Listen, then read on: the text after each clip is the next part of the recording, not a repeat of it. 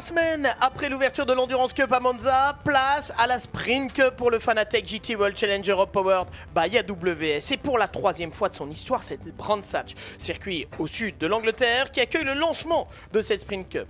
Deux courses de 60 minutes avec un changement de pilote obligatoire. Voilà qui nous promet bien du spectacle encore pour cette saison 2023. Ici à Brandsatch, 29 GT3 sont présentes, 8 constructeurs avec par ordre décroissant Audi, BMW, Lamborghini, Ferrari, Mercedes AMG, McLaren, Honda pour la première fois sur la Sprint Cup et Porsche. Difficile donc d'établir un quelconque pronostic et c'est ce qui rend ce championnat aussi excitant. Le Fanatec GT World Challenge Powered by AWS comprend bien sûr la version européenne que vous connaissez, mais aussi l'Amérique, l'Asie et l'Australie, soit 4 championnats régionaux dans lesquels les constructeurs peuvent marquer des points. Un petit coup d'œil sur le calendrier européen qui comprend 10 épreuves, 5 épreuves de l'Endurance Cup, dont les Strike 24 de Spa, et 5 épreuves de la Sprint Cup avec deux courses d'une heure, comme c'est le cas ici. regardez ce calendrier qui s'étale d'avril à octobre et qui comprend des noms aussi prestigieux que Monza, Brandsach, le circuit Paul Ricard, Spa-Francorchamps, Misano, le Nürburgring, Hockenheim, Valencia, Barcelone et Zandvoort. Excusez du peu. Toutes les voitures sont donc des GT3, mais il y a différentes classes selon la classification FIA des pilotes. Et on va commencer par vous parler de la catégorie pro, notamment avec celui-ci, Valentino Rossi, l'ex-star du Moto GT, qui forcément attire tous les regards. Ce sera sa deuxième saison en GT. Il est donc engagé dans cette catégorie pro, où on a une association de deux pilotes professionnels, dont certains représentent officiellement les constructeurs. Ces trois dernières années, le titre est revenu à Dries Van Tour et Charles Weert. Mais attention, le duo belge passe de l'Audi à la BMW avec cette question, peuvent-ils accrocher une quatrième couronne? Les Mercedes ont l'air très fortes. C'est clairement une piste qui leur convient bien. Les Audi uh, seront solides également ici. Lamborghini aussi et même Ferrari. Je pense que tout le monde est très fort ici. Ce sera serré de toute façon. Il faudra faire attention aux détails et essayer de mettre la voiture dans la bonne fenêtre, faire un, bon, un bon boulot et essayer d'aller au top. Un des retours marquants chez BMW est celui de Maxime Martin, équipier de Valentino Rossi sur la célèbre numéro 46, vainqueur des 24 heures de Spa en 2016. Cet ex-pilote DTM est aussi le dernier à avoir imposé une BMW en Sprint Cup. C'était en 2015, mais depuis, le niveau encore bien évolué. Oui, c'est uh, très compétitif. C'est la première fois qu'il y a autant de uh, voitures en sprint. C'est vraiment très haut niveau. On doit simplement faire le uh, mieux que l'on peut avec ce que l'on a, travailler tous bien ensemble. On doit s'améliorer. Oui, je pense qu'on a de bonnes chances cette année. La nouvelle Ferrari fait son apparition cette saison et il y aura deux 296 GT3 engagés par l'équipe Emile Frey. L'un des pilotes à suivre sera notamment la star espagnole Albert Costa, le pilote qui est toujours à la fois aussi rapide et aussi sympathique. ça fait 8 ans que je suis avec cette famille. Euh, je ne peux même plus appeler ça une équipe tellement je suis habitué avec eux. Uh, c'est très excitant. Vous savez, j'ai roulé avec eux, uh, avec Lexus, Jaguar, Lamborghini, Ferrari. Chaque année, c'est plus excitant. il faut dire aussi que nos concurrents sont toujours euh, plus solides. La concurrence est toujours plus élevée. Ce sera difficile parce que contrairement à nos adversaires, nous n'étions pas à Monza, en tout cas la plupart de nos adversaires. Nous, on commence maintenant, on doit travailler en tant qu'équipe. Et en plus, la voiture est encore relativement nouvelle, donc on doit encore apprendre d'elle, mais on, s'en approche. Que serait la Sprint Cup sans Rafael Marcello et Mercedes? Lelo est le recordman de pole position. Il a été champion de la Sprint Cup en 2018. L'an dernier, il a remporté l'Endurance Cup. Il revient avec Timur Bogulavski et un seul objectif, aller chercher une nouvelle couronne en sprint après celle de 2018.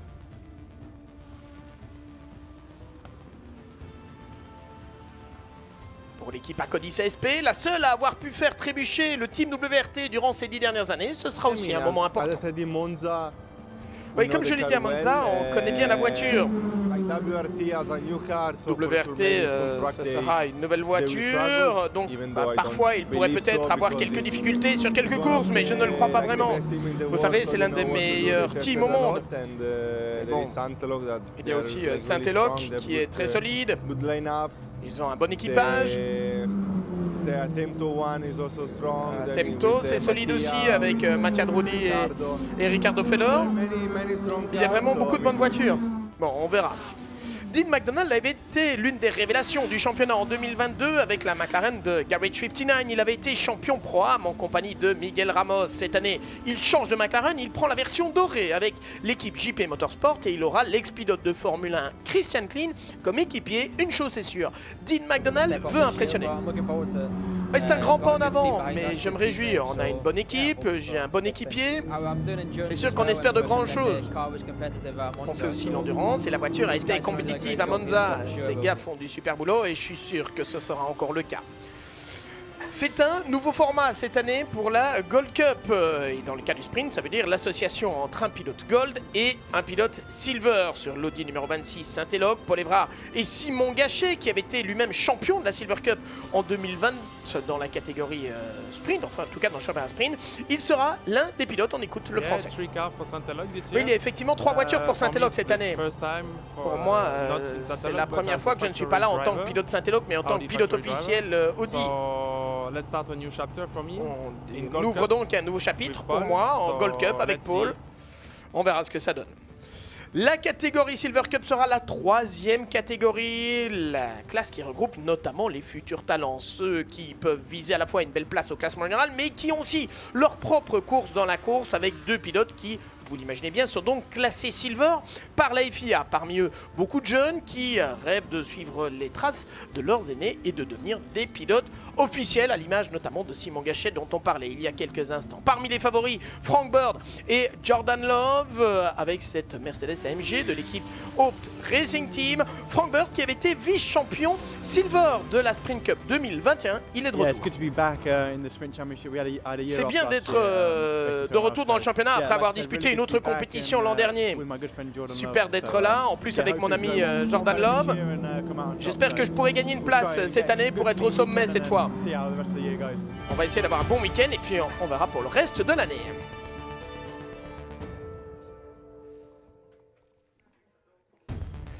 Et nous sommes en direct depuis euh, ce circuit de Brands Hatch. Bonjour à toutes et tous. Bonjour Laurent Mercier. Bonjour mon cher Thomas. Good morning. so happy to be with you. I'm very fine in you? On est heureux d'être là. Le lancement de la Spring Cup, lancement d'une nouvelle saison, euh, c'est toujours un moment important. Et, et Satch qui, euh, pour la troisième fois, ouvre donc le, championnat. Hein. ça avait déjà été le cas en 2019, en 2022 et en 2023. Euh, et, voilà, on débute le championnat parmi des passionnés. Ça, ça ne fait aucun ah, doute. Ça, ça le fait Laurent, on l'a encore vu ce matin. Ça, ça ne fait aucun doute. Il suffisait de, rentrer sur le circuit de bonheur pour voir que les fans ont fait le déplacement et dès la, le début du, du pit wall 15 matin à 9h euh, heure britannique évidemment. On avait euh, plusieurs milliers de fans qui sont euh, évidemment dirigés en premier lieu vers le, box de la numéro 46 du team WRT Roule Valentino Rossi, mais pas que. on a eu pas mal de monde quand même dans cette, dans cette voie des stands pour venir encourager les, les, pilotes de ce championnat Fanatec GT World Challenge Europe en version sprint.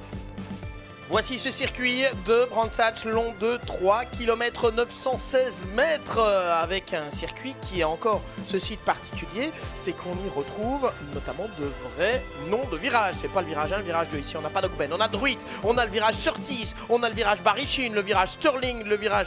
Euh, Gramil également. Bref, euh, c'est vraiment un circuit qui a une histoire, circuit très vallonné, circuit à l'ancienne, où on n'a absolument pas le droit à l'erreur. Et c'est ce qui en fait aussi d'ailleurs euh, toute sa beauté, bien sûr. Euh, c'est le, fait qu'ici, bah, la limite, c'est l'herbe, c'est le gazon, tout simplement. On va retrouver le champion en titre à l'interview. Il est aux côtés de Jay Mascot. Juste à l'instant, on l'écoute. Driss, not quite used to being on the third rows. on n'est pas habitué de vous voir sur la troisième ligne de la grille de départ, vous avez euh, souffert un peu avec la BMW. Uh, non, Charles, ça fait euh, du bon boulot en étant cinquième. Uh, Moi, j'ai pas fait du bon boulot, je suis pas content, mais ça arrive parfois et on va essayer aujourd'hui de rebondir. Ouais, je vais essayer de faire le travail que je suis censé faire. Charles a fait du bon boulot en tout cas en partant cinquième. J'espère qu'on peut avoir une bonne course et uh, peut-être viser un podium, serait bien. Il faut qu'on ait une bonne course, sans erreur, de bons pit stop, et essayer juste de rouler le plus vite possible et essayer de passer les Ferrari. On verra, ce sera intéressant. La course 2 sera différente, mais ce sera pour cet après-midi. Il y a des défis pour vous et on a l'impression que les Audi sont très solides ici. Uh, je pense vraiment que la deuxième course, ça va être difficile en partant de l'arrière. C'est difficile de dépasser ici. On va devoir essayer de compenser par la stratégie, mais uh, comme je l'ai dit, je suis prêt à récupérer ce que j'ai mal fait hier. Euh, Dries Van Tour, pas du tout content de sa séance qualificative. Hein. On doit encore euh, s'habituer, je pense, à cette euh, BMW. Laurent, c'est évidemment l'un des grands points d'interrogation. Le team WRT qui a remporté lors des dix premières saisons de la Sprint Cup, on entame la 11e ici, ils ont remporté neuf fois le titre euh, des, équipes, euh, plus tous les titres pilotes, alors je ne les ai pas comptés, mais je crois que c'est 5 ou 6, euh, bah, forcément WRT qui passe d'Audi à BMW, c'est le grand changement. Ah, c'est le grand changement, mais bon, c'est pas la première course hein, pour le team WRT avec BMW. Hein. Donc, on va voir ce que ça va donner avec un plateau qui est encore plus relevé cette année. Donc, forcément, ça va être un petit peu plus compliqué. Allez, on retrouve de nouveau Gemma Scott à l'interview. Elle est avec Ricardo Feller. Ricardo, Albert Costa in front of there. Il y a Albert Costa qui est devant euh, Mathieu. Vous avez été équipier euh, dans le passé avec euh, Albert Costa. Qu'est-ce qui va se passer dans le premier virage? Ah, Ce sera intéressant en tout cas. On sait qu'Albert pousse toujours très fort. Et bien sûr, il va vouloir prendre la tête dans le premier virage. On va voir ce que Mathieu peut faire. On sait aussi que la Ferrari a normalement euh, un bon couple et un bon départ dans la montée. Donc pour nous, ce sera plus difficile, mais bon, la course est longue. On verra ce qu'on peut faire. Merci euh, Ricardo Feller.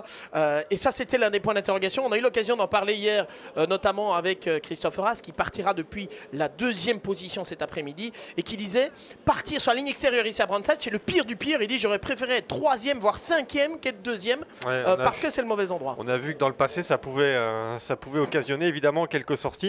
Et euh, ce qui est sûr, de toute façon, c'est que sur un circuit comme Brandzatch, il vaut mieux partir, il vaut mieux partir devant. Et c'est aussi ce qu'avait compris, à mon avis, Raffaele Marcello pour aller, pour aller claquer la polière devant les deux Ferrari hein, du team, euh, du team Emile Frey Racing, celle qu'on a à l'image, hein, celle de Thierry Vermeulen et d'Albert Costa. Et ce sera Albert Costa hein, qui partira pour, euh, pour cette course 1. Donc, alors que derrière, on aura sur la deuxième ligne la deuxième voiture du team Emile Frey Racing qui débute en compétition avec cette Ferrari.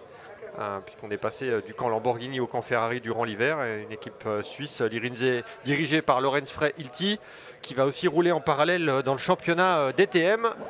Donc ce sera Consta Lapalainen hein, qui partira sur la, numéro 14 qu'on a à l'image, le coéquipier de Giacomo Altoe. on vous en reparlera cet après-midi, mais cette voiture hein, pour la, course 2 a pris une pénalité de 3 places sur la grille, puisque Giacomo Altoe a été jugé, on va dire, coupable d'avoir gêné Timur Bokuslavski lors de la séance qualificative. on a vu brièvement à l'image euh, Stéphane Rattel, euh, le président fondateur de SRO Motorsports Group, qui a fait le déplacement, qui est en discussion avec un monsieur avec une casquette qui, je crois bien, était M. Vincent Voss.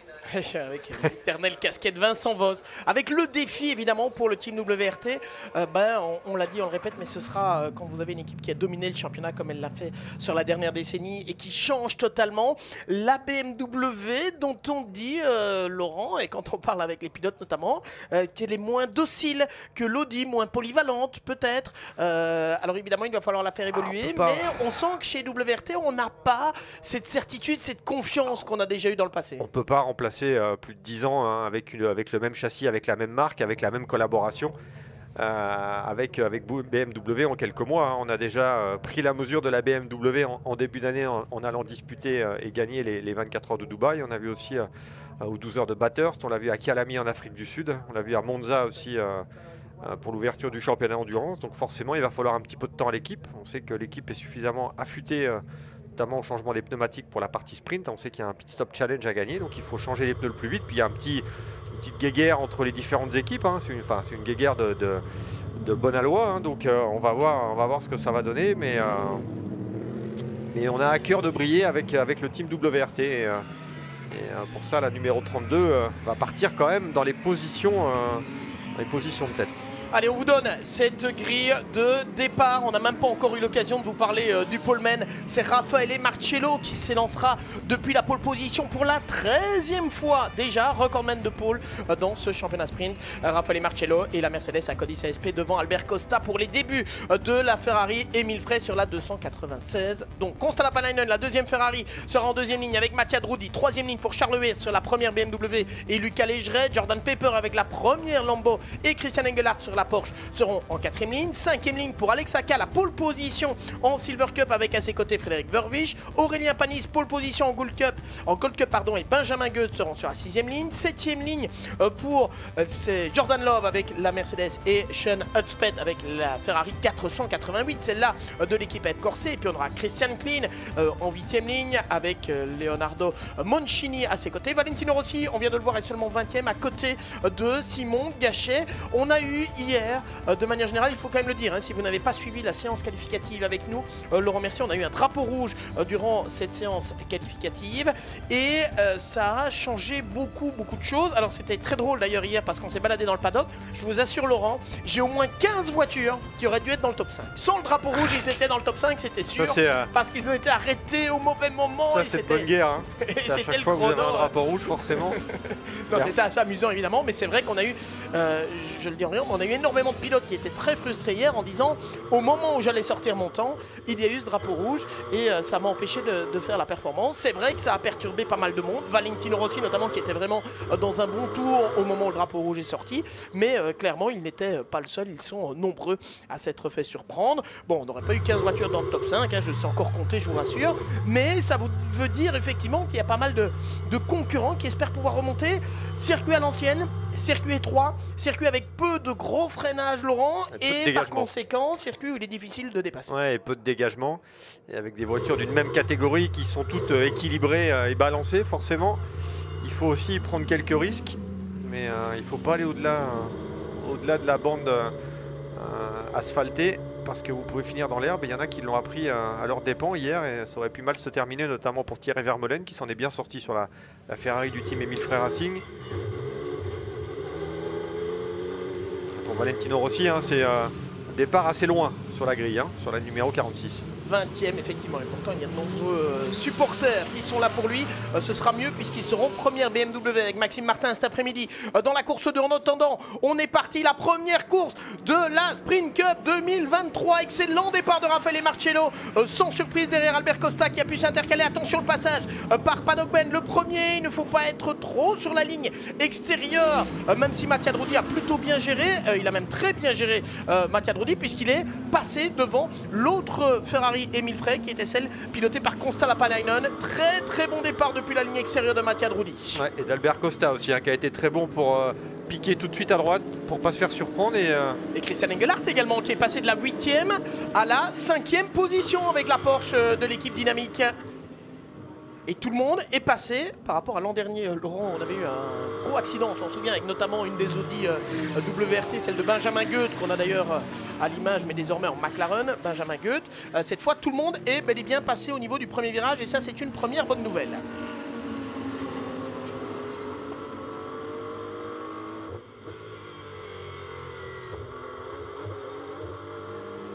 C'est Charles Wirtz qui est euh, derrière Christian Engelhardt. On espérait prendre un bon départ euh, du côté du champion titre Charles Wirtz. Eh bien, ça n'a pas été le cas. Euh, il s'est fait déborder par un Christian Engelhardt. Je serais curieux de revoir le départ du pilote de la Porsche Dynamique parce qu'il a vraiment été très très bon en gagnant trois positions on est parti pour 60 minutes. On aura un arrêt au stand obligatoire avec un changement de pilote et changement de pneumatique entre la 25e et la 35e. C'est le format habituel dans cette Sprint Cup. Et directement, Raffaele Marcello qui creuse l'écart. Il emmène Albert Costa derrière lui.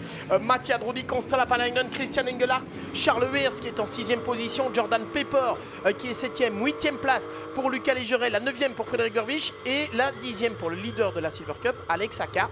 Et juste derrière, on a le leader de la Gold Cup qui est euh, Aurélien Panis avec Simon Gachet. Regardez Simon Gachet, 12e. Ça aussi, je voudrais bien le revoir, le premier tour de Simon Gachet.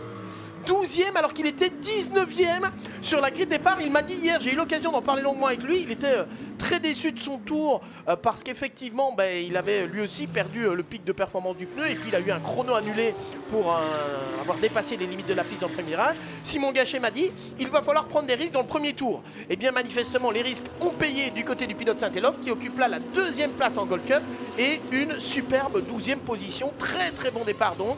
Il est devant euh, Jordan Love sur la Mercedes numéro 77 de l'équipe HRT. Et puis on a Adam Eteki qui est troisième dans la catégorie Gold Cup. Gold Cup où l'on retrouve un pilote classé Gold par la FIA, donc un professionnel mais qui traditionnellement n'est pas un pilote Usine n'est pas un pilote officiel et un pilote silver. Donc un gold et un silver, c'est le principe de la Gold Cup. On a deux pilotes silver dans la Silver Cup. Regardez comment Consta Lapalainen met la pression sur Mattia Drudi. Euh, à l'interview tout à l'heure, Laurent Mercier, on a entendu euh, Ricardo Feller, non c'était Charles Hertz, pardon, qui disait j'espère qu'on pourra euh, passer devant les Ferrari. Ben, pour passer devant les Ferrari, pour le moment, le rythme des Ferrari semblait très très bon avec Albert Costa qui non seulement parvient à suivre Raphaël Marcello, mais qui vient même de s'offrir le meilleur tour en course. Ouais. ouais on a un bon. Euh... J'ai un problème avec le son. Hein. Moi je vous entends très bien, mais. Euh, dites-moi, que puis-je faire pour vous, mon cher Laurent? Vous avez cassé aussi la console de son? Non, mais j'aimerais bien m'entendre un peu. Vous vous entendre là, voilà, là vous vous entendez plus. 1, 2, 1, 2. Ah Non, mais il faut tout. C'est la première fois que vous utilisez la console de son. Mais... Il y a trop de boutons sur vos consoles. Il y a au moins 25 boutons. C'est pire qu'un tableau de bord de, prototype. Ah, je vous entends. Vous je me disais, je m'entendais pas, je vous entendais pas, donc euh, je me dis, mais il y a un problème quelque part, ça y est. je vous ai retrouvé, je suis revenu. Je crois qu'on commence notre huitième saison ensemble, c'est pas ça Ou neuvième Neuvième. Ouais, mais c'est la neuvième console différente. Non, non, ça c'est pas vrai. Ah, pardon. Vous êtes un menteur. Vous êtes un menteur. Raphaël Marcello euh, qui a repris un peu d'avance pour le moment. Regardez, secteur 1, secteur 2, qui sont des secteurs dits euh, purple, comme on dit, donc euh, violet, ça veut dire meilleur secteur absolu depuis le début de la course pour Raphaël Marcello qui est en train de pousser là pour creuser l'écart face à Albert Costa. Et derrière, Mattia Drudi qui tape plus de 3 secondes maintenant. Euh, Consta Lapalainen à 3 secondes 7. Et puis, euh, façon, euh, Charles regardez comment tout le monde reste. Charles qui va attaquer peut-être, non euh, J'ai cru qu'il allait déboîter sur la Porsche de Christian Engelhardt et finalement ça ne l'a pas fait. Il doit faire attention Charles parce qu'il a juste derrière lui Jordan Pepper et la Lamborghini. du, côté de Raphaël et Marciello, de toute façon il ne faut pas se poser de questions. Hein. Il faut creuser l'écart au maximum puisqu'après euh, le, pilote Mercedes AMG va laisser son baquet à Timur Bokuslavski qui n'a pas la classification euh, Platinum. Donc euh, forcément il faut essayer de lui donner un maximum de temps. C'est que du côté d'Acodis ASP on est aussi rompu à la tâche des changements de pneumatiques pour être rapide. Donc on a le champ libre hein, du côté de, Raphaël et Marciello. Donc il faut, prendre un maximum d'avance et on a déjà presque deux secondes hein, sur Albert Costa.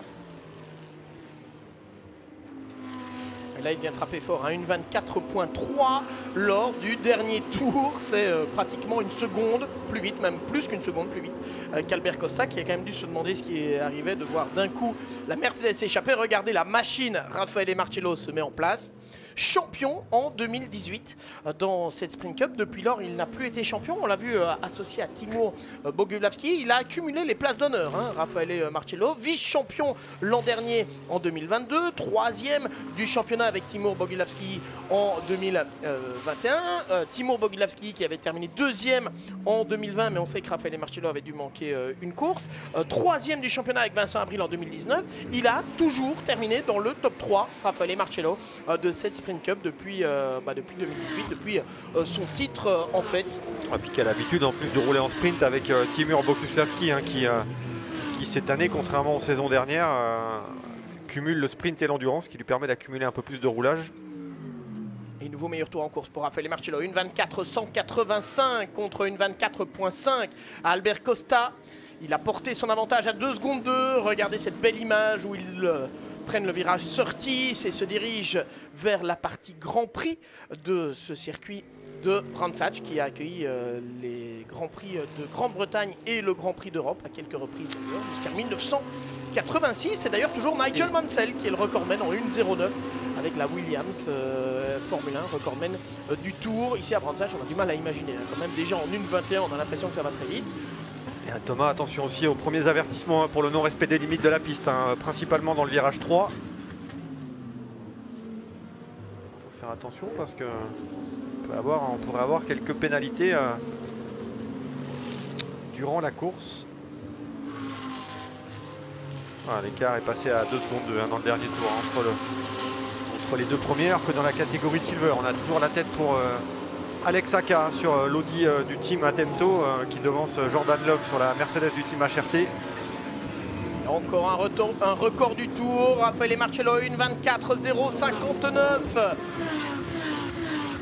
Il a de nouveau pris 4 dixièmes à Albert Costa qui est en une 24 4 une 24-7 pour Mathias Drudi. Qu'est-ce qui vous arrive, Laurent Merci. Vous avez encore coupé votre son? Non, non. Après, j'entendais plus, que les... plus que les voitures. Mais ça y est, j'ai trouvé le bon bouton ce coup-ci. je vous explique. Il y a un bouton qui est le son d'ambiance. Mais c'est le son d'ambiance en fait. Il y a un bouton qui est votre voix, il y a un bouton qui est la mienne. J'avais l'impression d'être dans les voitures et c'est pas possible.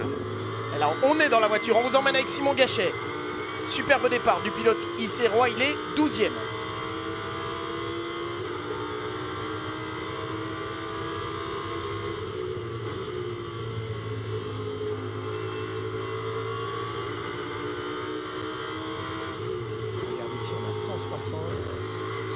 plus ou moins pour la vitesse la plus basse. Et puis celui-ci qui est très impressionnant. Regardez bien le droite ici à l'aveugle pratiquement. Et là, euh, on est le long du gazon. Il n'y a pas de problème de limite de la piste. On ne parle pas d'une ligne blanche. Hein. Si vous êtes trop large, c'est le gazon. Et les pilotes qui nous disaient hier, on prend un maximum de sensations dans cette partie-là. Parce qu'il y a parfois, on rentre dans le virage et on n'est pas tout à fait sûr qu'on va en sortir sans toucher l'herbe.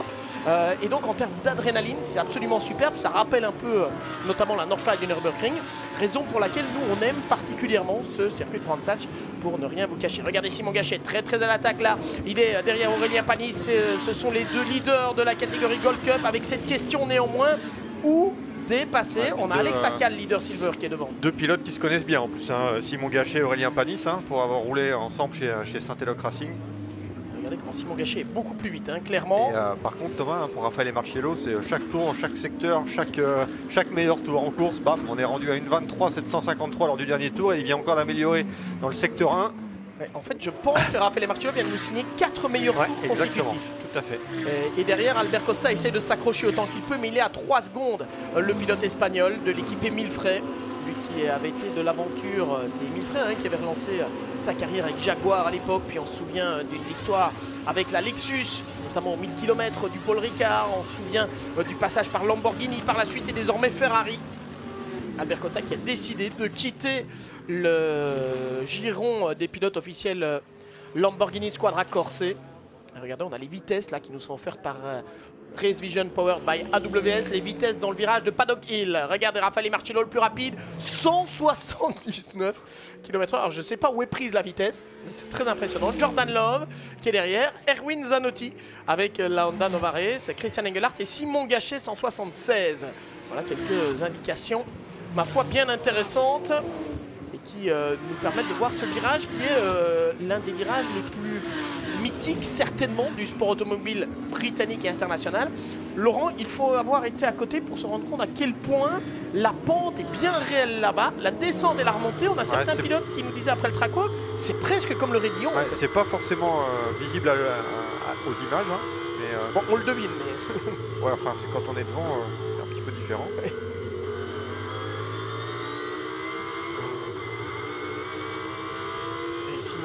On devine que ça descend, mais c'est vrai que ça, rappelle, certains disaient, ça rappelle un peu euh, le Rédillon de Spa-Francorchamps.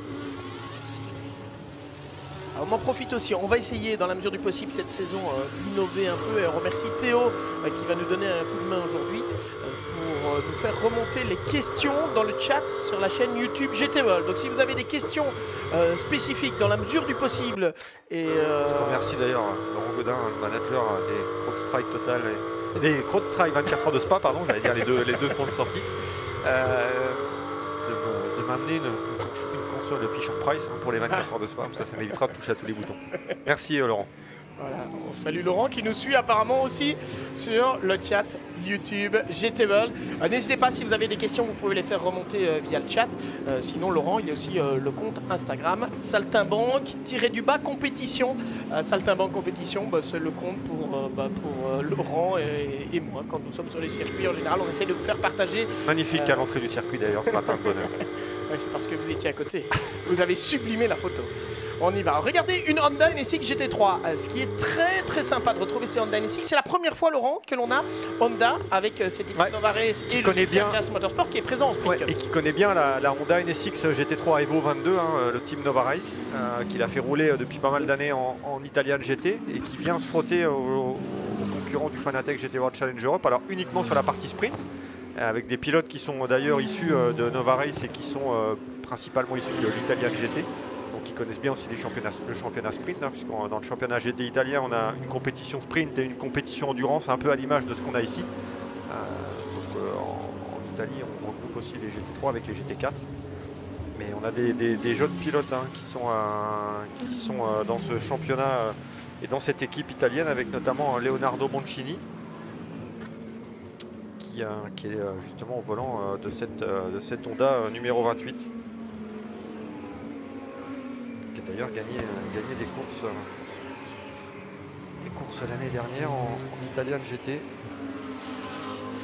question euh, d'Aero Nix, merci à Théo de nous la faire remonter, qui dit à quoi correspondent les couleurs des numéros, et je suppose qu'il parle des couleurs dans le classement que vous avez à gauche sur votre écran. Donc euh, le blanc c'est pour le pro, le bleu c'est pour la catégorie silver. Vous voyez Alexaka qui est dixième avec l'Audi numéro 99 qui est donc le leader de la catégorie Silver Cup.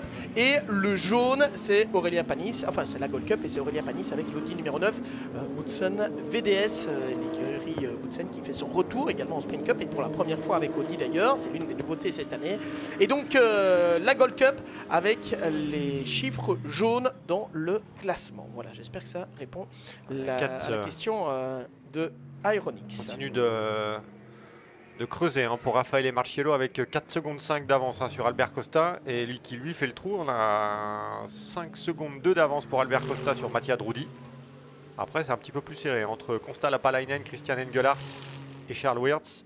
Regardez les spectateurs qui sont là, bien présents en nombre pour assister à la démonstration de Raphaël et Marcello. Et pour rebondir, puisque Vikovic pose la question, est-ce qu'il y a une différence, euh, Laurent Mercier, en termes de voitures, entre les voitures engagées en pro, en Gold Cup ou en Silver?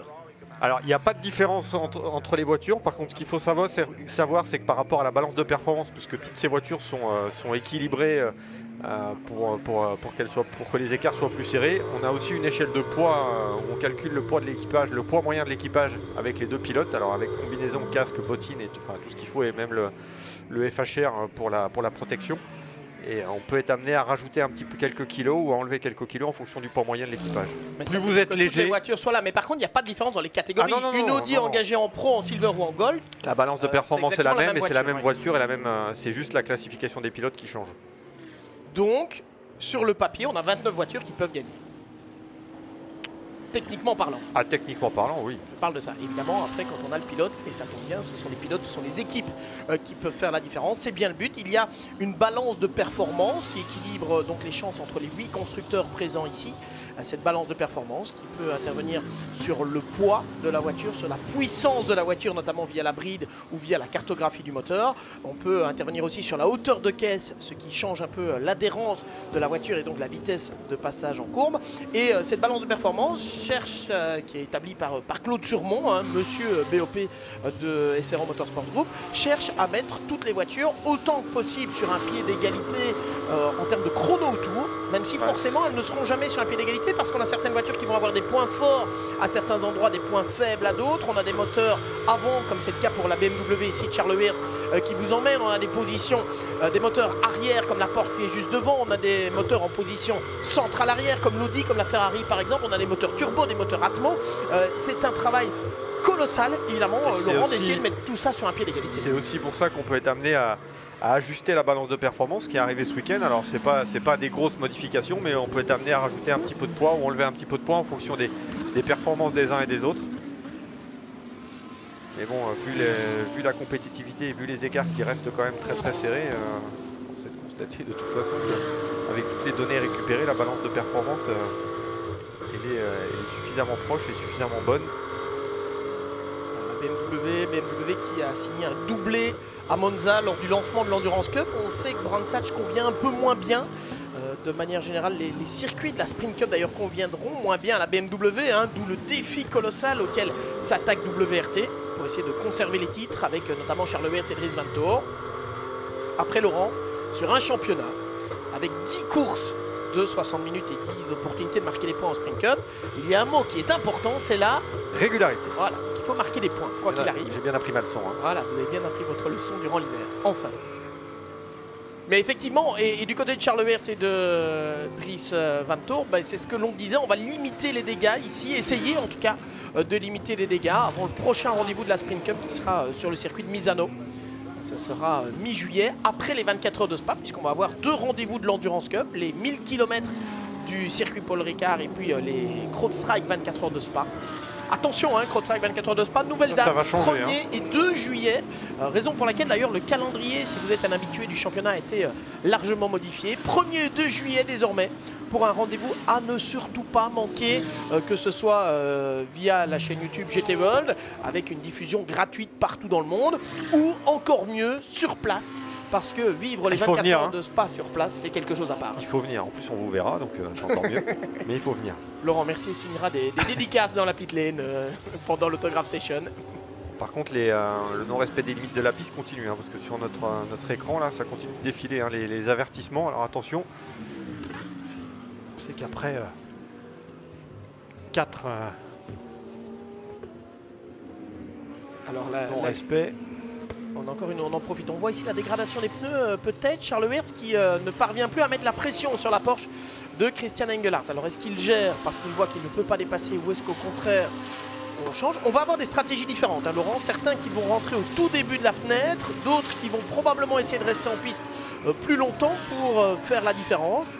sachant que la, la, grosse différence par rapport au championnat endurance où vous avez un temps, un, temps à respecter entre l'entrée et la sortie de la voie des stands avec le changement de pilote et de pneumatique. Là, le but du jeu, c'est d'être le plus rapide possible. On a vu hier d'ailleurs les, concurrents. Euh, ah, vous avez fait une magnifique vidéo. J'ai fait une vidéo, vous pouvez la retrouver d'ailleurs sur mes réseaux sociaux, effectivement. C'était l'ambition de vous montrer aussi à quel point la victoire ne vient jamais par hasard. Hier, il était passé 19h, il était pratiquement 20h sur le circuit de et les mécaniciens et les pilotes étaient encore au travail pour répéter encore et encore les changements de pilote, pour répéter encore les changements de pneus. On a fait une vidéo, effectivement, vous pourrez euh, la, retrouver. Euh, vous l'avez partagée sur euh, Saltimbanque Compétition? Je ne pense pas, donc elle doit être sur ma page perso, mais vous pouvez la retrouver. Faire grossir votre, votre communauté. c'est gentil, mais c'est pas le but. C'est surtout le but, c'est de partager une même passion et de vous faire voir l'envers du décor de ce sport qu'on aime tant, de ce euh, championnat Fanatec GT World Challenge Europe qu'on aime tant, avec, euh, avec ces GT3, un championnat de très très haut niveau. On le voit euh, systématiquement lors des essais qualifs avec des écarts qui sont toujours minimes. Là, on a Simon Gachet avec la voiture Saint-Éloque grise, la numéro 26. Simon Gachet toujours bloqué pour l'instant derrière hein, Aurélien Panis. il n'arrive pas à passer. Effectivement, ce sont les deux leaders de la Gold Cup. Hein. Ça veut dire qu'Aurélien Panis n'a aucune raison euh, d'ouvrir la porte évidemment à Simon Gachet. C'est d'autant plus compliqué en plus quand vous avez le même châssis parce que vous avez les mêmes, les mêmes avantages au niveau de la voiture mais aussi les mêmes inconvénients. On a les mêmes points forts, les mêmes points faibles. Exactement. on ne peut pas euh, avoir une vitesse supérieure par exemple. Comme c'est le cas par exemple pour la BMW qui a 5 km/h environ de plus par exemple que les voitures qui sont devant mais qui euh, par contre perd un peu, notamment dans tout ce secteur-ci. Benjamin Goethe à l'image, Benjamin Goethe qui avait été euh, champion l'an dernier de la Silver Cup dans le championnat Endurance avec le team WRT. Il est passé chez McLaren, il est l'un des juniors McLaren désormais. Benjamin Goethe, soutenu par le constructeur britannique et avec euh, Nikolai Jargard, il est engagé sur cette voiture de l'équipe Garage 59. On attendait mieux, hein, clairement, de cette McLaren lors des essais qualificatifs on a, encore des, questions euh, qui tombent. Euh, Gaspard qui nous demande si la Gold Cup c'est nouveau. Euh, oui, en tout cas dans ce format-là, avec un pilote Gold et un pilote Silver, c'est effectivement la, première fois. on nous demandait aussi comment fonctionnait le système de points. Ça, c'est un peu compliqué. Attention, on va revoir. Qu'est-ce qui s'est passé petite sortie, hein, on l'a vu. C'est qui ça C'est Valentino Rossi. oui, hein. qui se fait dépasser par son équipier dès lors. Callan Williams, l'ex-pilote du championnat FIA Formule 2. Et Valentino Rossi qui, euh, bah, qui est rapide mais qui commet encore un peu trop d'erreurs pour le moment. Et pourtant, regardez en vitesse maximale, les BMW sont bien. 250 km/h pour Valentino Rossi, 247 pour Charles Weertz. La vitesse maximale qui est juste avant, donc après le virage sur c'est juste avant euh, le virage 5 euh, dans la cuvette, mais c'est sur la partie Grand Prix, hein, donc ce n'est pas ici c'est euh, le virage 5 qui est le, virage Hawthorne, Mike Hawthorne. Et pendant ce temps-là, Raphaël Marcello a 6 secondes 7 d'avance sur Albert Costa et 13.9 sur euh, un cavalier seul hein, pour l'élo. Hein. On va dire presque qui devra cravacher par contre cet après-midi parce que son coéquipier, Timur Bokuslavski, donc comme on vous l'a expliqué, n'est pas classé Platinum euh, par la FIA, donc forcément avec un niveau un petit peu moins élevé en fait que ses, concurrents directs. Donc il va falloir que Timur essaie de se, maintenir ou voire même de gagner quelques places pour que, pour que après euh, termine le travail euh, durant son relais final. Vous parlez de la classification des pilotes, Platinum notamment, et on a justement une question de Vikovic qui demande comment les pilotes euh, reçoivent-ils leur classification euh, FIA en Il faut déjà la euh, demander à la FIA déjà. Il hein. faut déjà demander une classification. Une classification. Benjamin Goethe qui passe devant Adam Eteki. Changement, pardon, comme quoi il y a moyen de dépasser malgré tout. Benjamin Goethe qui passe 14e. devant Adam Eteki avec l'Audi de Tucson VDS. La mieux classée des deux McLaren 720 GT3, hein, celle de Benjamin Goethe, Christian Klein, un tout petit peu plus loin derrière, derrière Adam Eteki d'ailleurs on va voir s'il peut revenir. Maintenant, Benjamin Gut sur le groupe. Euh, devant lui, regardez peut-être l'attaque de Simon Gachet maintenant sur Aurélien Panis. Ça, c'est le moment peut-être. Est-ce qu'il plonge euh, Simon Gachet à l'intérieur de Paddock Ilben Non. Toujours pas. Pas simple, hein. Paddock Hill, donc la, descente euh, du paddock, littéralement le virage de la descente du paddock. Et on, vous l'a dit, c'est une vraie descente, effectivement. On revient sur la classification des pilotes. Donc, on a quatre classifications Platinum, Gold. Donc, Platinum, c'est le plus haut. Gold, euh, Silver et Bronze. Il faut la demander. Et puis, on reçoit la classification selon quels critères? Bah, Après, la, FIA euh, juge par rapport à votre palmarès, par rapport à votre âge. Euh, dans, quelle classification vous mettez. Après, vous pouvez toujours essayer de contester si vous avez des arguments à faire défendre. Et vous avez une classification qui est valable pour un an. Et dans certains championnats qui ne sont pas les championnats FIA, parce que les championnats FIA, il n'y a pas de dérogation, mais sinon les autres championnats, vous pouvez avoir une dérogation pour un meeting. Euh, et si jamais on juge que votre dérogation n'a plus lieu d'être, après on vous remet à la classification FIA. Donc euh, c'est tout un système. On a plus de 3000 pilotes hein, qui sont classés par la FIA.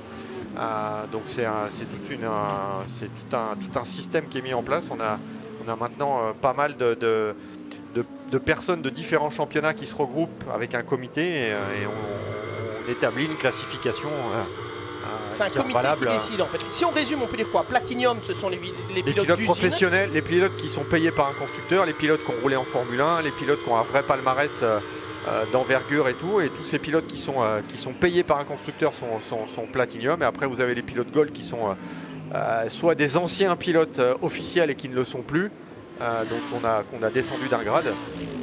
et après, vous avez les pilotes Silver qui sont généralement les, jeunes pilotes, même si maintenant, euh, si vous êtes silver une année et que vous gagnez un titre en tant que silver, bah, on vous fait passer gold. Hein. c'est un petit peu la nouveauté de cette année. Bah, c'est l'idée qu'on peut euh, en fait tout simplement upgrader euh, le pilote, passer à la catégorie supérieure et, le pilote bronze, lui par contre, c'est pilote, le pilote gentleman. On a souvent tendance à faire passer des silver à gold. on a moins de pilotes bronze qui passent silver et moins de pilotes gold qui passent platinum. Le, milieu, c'est juste silver et gold. Attention, Dries Van à l'image. Et il a soif de revanche. Dries Van Toor, vous l'avez entendu, hein, pas content euh, de sa séance qualificative. Il dit Je n'ai pas été bon, tout simplement, dans, dans ma séance qualif. Euh, Charles Hertz avait fait beaucoup mieux avec un excellent euh, cinquième chrono, même si il a perdu une place, Charles Hertz, au profit de Christian Engelhardt. Là maintenant, Laurent, la fenêtre vient de s'ouvrir et on va probablement voir Charles Hertz plonger parce que chez WRT, on va jouer la tactique. C'est ce qu'on appelle, ou ce que l'on pourrait appeler l'undercut, essayer d'aller plus vite. Et on a une des Ferrari euh, qui est rentrée également, celle de Consta Lapalainen, avec euh, les premiers pit stops maintenant. Pit stop obligatoire et regardez le travail, admirez le travail des mécaniciens qui vont changer les quatre roues à deux mécanos en une quinzaine de secondes seulement. C'est juste hallucinant. Ils ont répété encore et encore ce travail. Voilà, on monte la voiture euh, sur ces vérins pneumatiques, hein, un système d'air comprimé en fait qui permet de pousser des, des leviers qui sont sous la voiture, qui lèvent, donc qui sortent par le bas de la voiture qui lève la voiture. On change les roues à deux mécanos seulement. Euh, changement de pilote en même temps euh, d'ailleurs. Et puis on va pouvoir repartir. Vous allez attendre un petit peu normalement avant de voir Raphaël et Marcello emprunter la voie des stands. Hein, puisque comme on vous l'a dit, c'est le pilote le plus, le plus capé. Donc regardez, qui repart. WRT qui a été beaucoup plus vite qu'Emile Frey. Hein. Constant Lapalainen était devant la BMW quand il est rentré dans la voie des stands. Il repart, enfin son équipier en l'occurrence, euh, repart derrière pour le moment. Donc WRT avec Dries Van Toor qui vient de gagner une position par rapport à Giacomo Altoe qui a relayé Constant Lapalainen. On vous disait que les mécanos pouvaient faire la différence. Laurent, on en a encore la preuve ici. Valentino Rossi qui vient de sortir de la voiture. C'est Maxime Martin euh, qui repart sur cette euh, numéro 46. on a 41 secondes, euh, point 3 d'arrêt hein, pour euh, l'Audi euh, du team WRT de Charles Wertz et Dries Vantore. Et pour la, Ferrari, on est à 46 secondes 2. Et entre l'entrée et la sortie, la va descendre. Et là, on a une des Audi Saint-Elo qui est en train de tout perdre. La, la Honda, là. Oui, c'est votre ami Erwin Zanotti, ça, qui est le champion italien de GTA. Qu'est-ce qu'il a fait, Erwin Zanotti Qui savait pas où se garer et qui est venu se mettre devant tout le monde? Ou alors on va avoir un autre. Attendez, on va revoir, je pense. Enfin, j'espère en tout cas ce qui s'est passé. Attention, on a des retours dans la voie. Voilà, Erwin Zanotti qui revient là. Qu'est-ce qu'il fait, Erwin Zanotti? Oh, il revient et au moment. Ouais, il y a un unsafe release en fait. Euh, parce que. Euh, on relâche du côté de Saint-Éloque. Et là, je pense qu'il y a eu une erreur du côté de Saint-Éloque avec euh, Erwin Bastard et Patrick Niederoser. sur la numéro 25. C'était Erwan Bastard, je pense, le champion d'Europe et champion de France. D'ailleurs, GT4 l'an dernier qui était de volant. Ben, le pilote qui est dans la voiture, il fait ce qu'on lui dit. quand on lève la, sucette, part, l'idée c'est de partir. Et après, le, pilote euh, se, se, préoccupe pas forcément de ce qui se passe à côté. du côté de Marcello, on enchaîne les tours. Hein. On va essayer de pousser au maximum euh, le relais pour Raffaele Marcello avant de laisser son baquet à Timur Bokuslavski. Et c'était Patrick Niederoser qui repartait. C'est Juan Bastard qui avait fait la première partie de la course. Donc c'est euh, Patrick Niederoser, le pilote suisse, pilote officiel Audi, notamment euh, deuxième des 24 heures de Spa en 2020, vainqueur l'an dernier de la course de l'Endurance Cup à Hockenheim. Hein, donc c'est un pilote pro, mais effectivement, Patrick Niederoser, on a levé la, sucette, on lui a dit de repartir, il repart. Et il y a eu ce contact entre Patrick Niederoser. On est en 1 minute 36 hein, pour l'arrêt de la, voiture de Patrick Niederoser et Juan Bastard, donc forcément, par rapport au aux 44 secondes ou 41 secondes de, la BMW WRT, euh, l'écart est quand même important. Et on a eu un très bon arrêt également pour euh, Come to You avec la numéro 11. 40.6, euh, le meilleur arrêt pour l'instant, le meilleur pit stop pour la numéro 11, qui est la voiture de Christophe Haas, qui partira deuxième sur la grille de départ cet après-midi. Christophe Haas qui a donc relayé Lucas Légeret très très bon arrêt là sur euh, l'Audi du team Come to You qui euh, débarque dans le championnat sprint, mais on s'est entouré des bonnes personnes hein, du côté de Come to You. On a eu l'occasion d'aller un peu hier euh, se balader dans le paddock. On a vu des, ingénieurs, bah, Sébastien Breuil notamment, qui est le responsable du, programme, qui connaît particulièrement bien l'Audi. Je pense qu'il a travaillé pour toutes les équipes ou presque euh, qui ont engagé des Audi R8 euh, GT3, WRT à l'époque, le Team Phoenix. Il a travaillé pour Saint-Eloc, il a travaillé pour euh, Atemto, il a travaillé pour Car Collection. Les équipes, il a travaillé pour, ouais, je, je, pense à peu près tout le monde. C'est lui qui est le chef de projet pour l'équipe Comme To You. Il amène son expérience. Il a amené aussi avec lui des mécaniciens, dont certains que l'on a déjà vus dans le passé, entre autres chez WRT, entre autres chez Ferrari. Euh, vous connaissez Caillou, euh, mon cher, euh, le surnom du mécanicien Caillou voilà, qui est l'un des mécanos qui est en charge des pit stops notamment. On sait que c'est l'une des références sur les pit stops. Et eh bien ça le prouve ici avec ce meilleur pit stop. Donc pour l'instant 40.6. Alors pourquoi est-ce qu'on parle aussi du meilleur pit stop alors 40.6, c'est entre l'entrée et la sortie de la voie descendante. Pourquoi est-ce qu'on en parle, Laurent? Parce qu'il y a aussi une compétition quelque part entre mécanos. Ah, une compétition entre mécanos hein, qu'on appelle le Pit Stop Challenge, hein, euh, qu'on a, euh, qui est ouvert aux, équipages qui roulent, enfin aux équipes qui roulent en pro, en gold ou en silver. Et on additionne les deux courses et les arrêts. Et on a, évidemment de l'argent à gagner.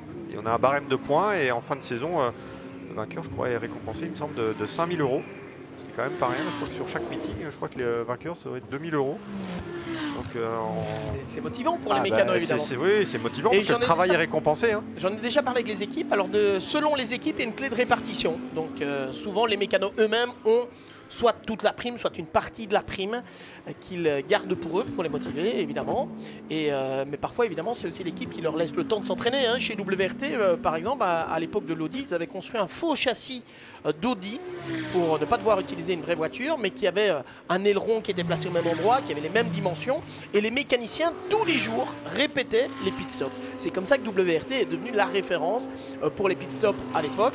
Pour le moment, on a posé la question hier à Vincent Voss s'ils avaient déjà un châssis avec une nouvelle BMW. Il a dit non, pas encore, mais on a cette voiture à l'atelier, donc on a toujours bien une voiture qui traîne et qui nous permet de répéter les pit stops. Ça a plutôt bien fonctionné ici, puisqu'on a vu euh, Charles Wertz et Dries Vantour qui ont gagné une position. On reste en piste pour le moment avec Thierry Vermeulen euh, qui est euh, reparti. Il est Thierry Vermeulen avec la numéro 69 devant, et voilà la, 25 avec Patrick Niederoser qui est à un tour et qui va laisser passer.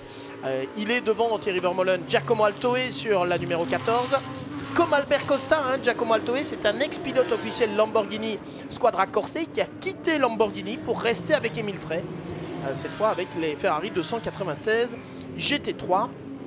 Ah, chez Émile Frey, on va avoir un petit goût peut-être de, trop peu quant à la durée du pit stop. Regardez la durée du pit stop pour euh, Albert Costa et Thierry Vermeulen. 52 secondes. On a perdu 9 secondes. eux, c'est une première. Hein. Eux, c'est aussi une, c'est une première en, en conditions réelles de course hein, pour Emile Frey Racing. Bon, je pense qu'on s'est suffisamment entraîné quand même au sein du team suisse. Et c'est une première vraiment en conditions de course, ce qui n'est pas le cas de WRT notamment. Mais bon, va falloir bosser.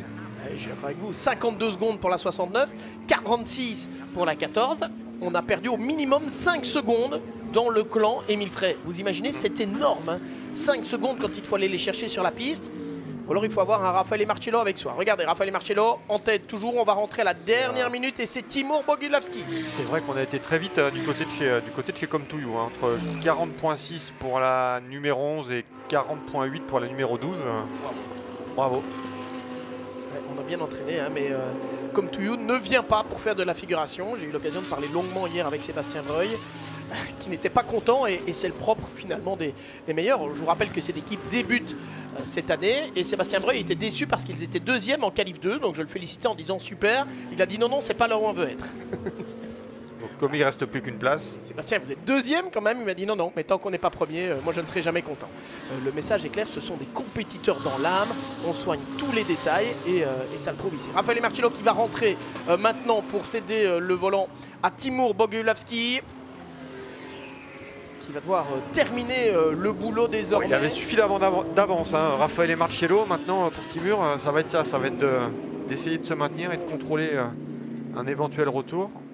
Alors sans surprise, l'incident entre l'Audi numéro 25 et la Honda numéro 68 a été placé sous enquête et le team manager de la voiture numéro 25, donc de Saint-Éloc, est attendu auprès des commissaires sportifs. Je pense qu'on va franchement lui tirer l'oreille évidemment parce que on ne peut pas relâcher une voiture ah, de manière aussi dangereuse et c'est normal. Et ça... Attention Dries Van Tour derrière Ricardo Feller, allez-y. Et ça a aussi un peu euh, endommagé la course de la, de la, Honda aussi, hein. la Honda NSX. Ah ben, hein, totalement. Donc euh, là, il n'y a rien à faire en plus pour... Euh, pour pallier à, ce handicap Non, totalement, effectivement. On est, on est euh, clairement dans un cas où bah, c'est une erreur, hein, mais euh, on est sous pression. on est... Heureusement qu'on a eu le ralenti. se poser la question. Comment cet Honda c'était À un moment, on a quand même cru qu'Erwin Zanotti s'était rangé devant. Ça aurait été étonnant quand même, mais bon. Mais euh, quelle image effectivement. Retour dans la voie des stands de Christian Engelhardt euh, maintenant qui a prolongé son relais au maximum, tout comme Simon Gachet d'ailleurs qui est relayé par Paul Évrard maintenant. Paul Évrard, euh, le protégé de l'ex-champion de France Patrice Guélard et qui débute en GT3 cette année. Et qui reste sur une victoire aux 12 heures de Spa-Francorchamps. Hein. Oh attention, qu'est-ce qu'on revoit ici? Non c'est au ralenti ça. Raphaël Marcello dans son dernier tour, on attaque jusqu'au bout du côté du pilote italo-suisse. Et regardez, attaquer jusqu'au bout, il est large Oh là là, full attaque, rappelez Marcello. Il a 15 euh, secondes d'avance à cet instant et on continue de pousser au maximum. Timur Bogulavski est en tête. On attend le retour de tous les concurrents pour vous donner, mais je pense qu'on va avoir en deuxième position celui-ci, Ricardo Feller, et troisième, Dries Van Tour. On est en 42.1 hein, pour l'arrêt de la numéro 88. 42.1, ce qui est plutôt un arrêt euh, raisonnable, même si on n'est pas en 40 euh, ou 41 comme euh, on l'a vu avec l'Audi Come To You ou avec la BMW du Team WRT. Ça va permettre en tout cas à Timur Bogulavski de rester en tant que leader. Vous avez mis chauffage là ou quoi là? Mourir ici. C'est juste que on a du soleil, je vous assure que c'est vrai. On a eu froid durant tout ce week-end parce que bah, dans le Kent, à cette période de l'année, soit c'est le printemps, soit c'est la fin de l'hiver, et nous c'était plutôt la fin de l'hiver. Et là il est là, Timur Bogulavski qui est reparti et qui a une confortable avance. On voit pas très bien. Qu'est-ce que vous faites Vous avez emmêlé mon casque dans la chaise. J'ai emmêlé votre casque Je peux ouvrir la porte. Ah, voilà. c'est encore une vôtre.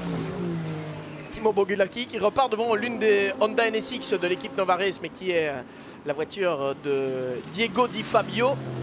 Très jeune, hein, Dego Di Fabio, 19 ans, champion euh, italien de GT en sprint en 2021, en GT4, RAM. c'est un pilote qui a beaucoup roulé en monoplace. Hein, et champion en GT3 l'année d'après, en, toujours en AM d'ailleurs, et déjà chez Nova Race. Parce que Nova Race a la particularité de faire rouler des, des Honda en GT3 et des Mercedes en GT4. Alors on revient euh, rapidement avec quelques questions euh, du, chat, notamment une question de Scoot for Life qui demande est-ce qu'il y a une réglementation sur les moteurs en termes du nombre de cylindres, de l'hybridation, euh, comment se basent les moteurs des constructeurs. Donc non, il n'y a pas de réglementation. On prend le moteur euh, qui est normalement le moteur de série. Il n'y a pas d'hybridation en GT3 euh, en tout cas pour l'instant. et on a des moteurs très différents. Turbo, Atmo, Atmo on a des... un 6 cylindres, 8 cylindres, on a un peu de tout. Hein. Mais par contre, il faut signaler aussi que la Ferrari 296 par exemple, le modèle de route qui est la 296 GTB, elle a un elle, a une hybridation, ce qui n'est pas le cas de la 296 GT3 et on sait qu'on a, on vous en parlera dans, quelques jours sur Endurance Info, mais on a quelques constructeurs qui poussent en GT pour avoir un petit peu d'hybridation, alors pas l'année prochaine ni l'année d'après, mais à l'avenir hein, pour, euh, pour, défendre. Que le GT3 devienne hybride en fait. Ben oui, parce qu'il faut défendre un programme compétition client auprès d'un board et euh, maintenant, si vous n'avez pas d'hybridation, c'est forcément plus compliqué avec que des moteurs thermiques. Donc on essaie de pousser, donc euh, bon, on va, voir on va voir si ça arrive un jour ou pas, mais je pense que ça arrivera forcément à un moment ou à un autre pas d'hybridation. Pour le reste, on garde les moteurs de série. Alors c'est marrant parce que la Mercedes c'est un peu l'exception, parce qu'on a un 4 litres biturbo dans la Mercedes AMG de série, et là on a gardé le moteur euh, V8 atmosphérique 6 litres 2 euh, qui était utilisé dans le, modèle précédent, qui est un moteur Mercedes, mais qui n'était pas celui de la voiture de série, euh, de celle-là en tout cas. Mais bon, en règle générale, on peut dire qu'on garde la même architecture du moteur que sur la voiture de série. Et on a une question de T-Rox qui nous demande où est Iron Links. Iron Links dispute uniquement le championnat Endurance Cup. Euh, dans le Fanatec GT World Challenge Europe, on a 10 épreuves, 5 endurance, dont les Crossfire 24 heures de Spa, et 5 épreuves sprint avec 2 courses d'une heure par week-end, comme c'est le cas ici à Brands Hatch. Et donc Iron Links est uniquement dans la catégorie suffisamment, suffisamment occupé hein, du côté de chez Iron Links, qui là aussi c'est un transfert en passant de Ferrari à Lamborghini. Qui nous demande quel est l'avantage des pignons à cran droit dans les boîtes de vitesse en GT. Ah, Alors là, franchement, Miguel, désolé, mais je ne suis pas assez euh, bon en technique et je préfère ne pas raconter euh, de bêtises. Quant au système de points, Ironix nous demandait comment fonctionnent les points. Alors là, c'est un peu compliqué parce qu'en endurance, on a le format FIA traditionnel 25, 18, 15, 12 et autres euh, que vous connaissez euh, notamment dans le championnat Formule 1. Et en sprint, pour équilibrer justement dans le championnat global qui comprend le sprint et l'endurance, en sprint, on a 16,5 points pour la victoire, plus un point bonus pour la pole position, 12 ce qui est assez particulier. Alors, Timur Bogilavski en tête, 12 secondes d'avance sur le duo. Ricardo Feller, Dries Vantor. Et puis quatrième, vous l'avez à l'image, Adrien Delener avec euh, la Porsche numéro 54 qui a euh, derrière lui euh, Thierry Vermeulen, Giacomo Altoe et Christopher Haas. Et on tourne une seconde 5 plus vite hein, pour Ricardo Feller hein, qui est pour le moment deuxième hein, derrière Timur Boguslavski.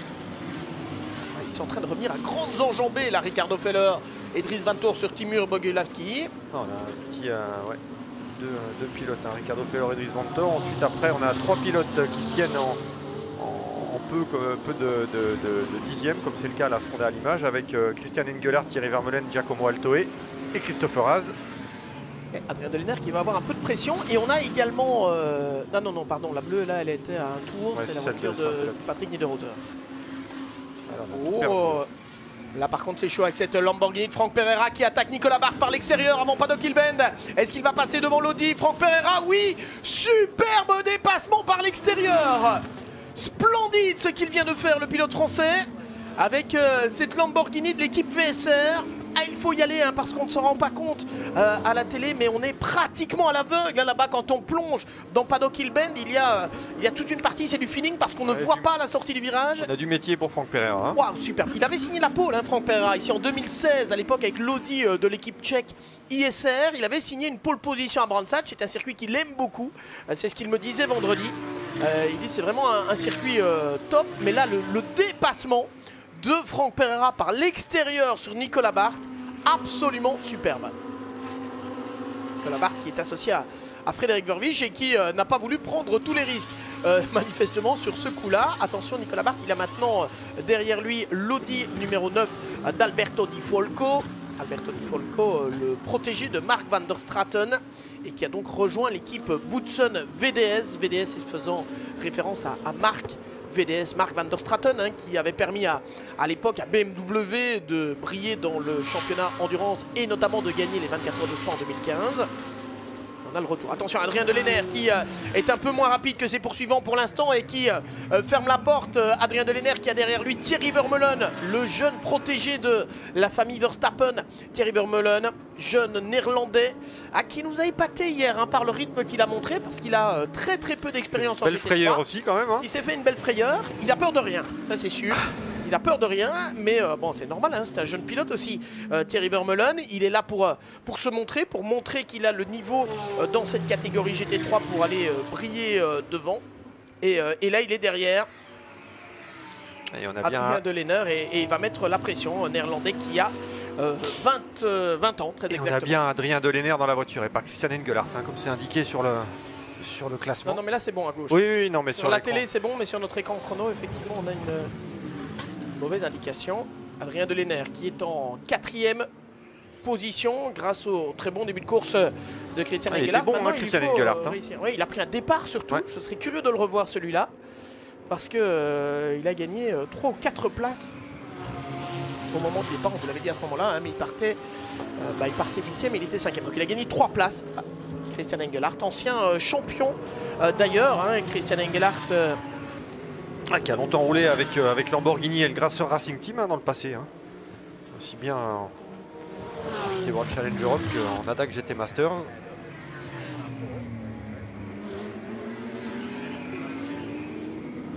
Christian Engelhardt qui avait été euh, champion euh, du championnat global avec Mirko Bortolotti en 2017. Et il avait été euh, champion d'ailleurs endurance aussi cette même année. Euh, par contre, euh, pas de titre en sprint cup pour Christian Engelhardt qui est passé, vous l'avez dit, de Lamborghini à Porsche. Regardez, il y en a un qui m'a l'air bien bien chaud là, notamment c'est Christopher Haas qui est derrière les deux Ferrari de Thierry Vermeulen et Giacomo Altoe. Encore faut-il trouver l'ouverture. Franck Pereira a montré qu'il y avait moyen de le faire avec ce fantastique dépassement par l'extérieur qui restera, je pense, l'une des images de ce début de course on a Audi en plus qui se suivent au classement. Hein. Avec euh, de la 9e à la, à la 13e place.